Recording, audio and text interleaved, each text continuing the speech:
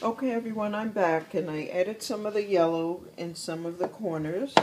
And so what I'm going to do now is add some of the white over it to kind of push it back into the surface because right now it's just a little bit too uh, vivid and bold and I want to make it look more subtle.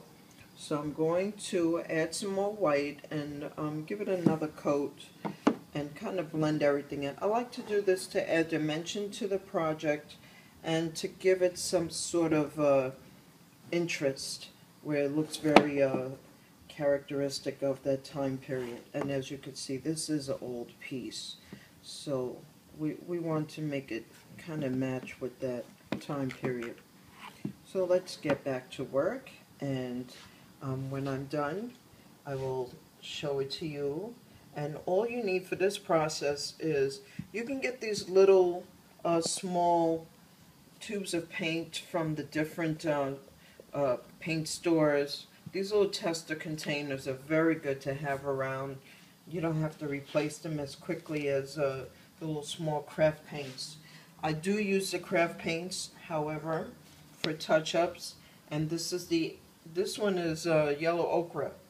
So I, I use this, and I always have these on hand for different projects. But for this particular project, I'm using the yellow ochre and some white paint. This is regular latex paint. It's good on the wood, so you'll get good coverage. I have a sponge to give me a little uh, technique there, my paper towel, and a paintbrush. So you don't need a lot of materials. It's a very simple project and you put together your embellishments of what you would like to uh, embellish it with. Because it's country, I'm going to make this sort of country shabby chic. And I like the blues, but I'm, I think I'll use something else around the edges. I don't think I want to be consistent with the blues because I want it to fit into the decor of the room, which has a lot of white. Uh, I will see you in the next tape.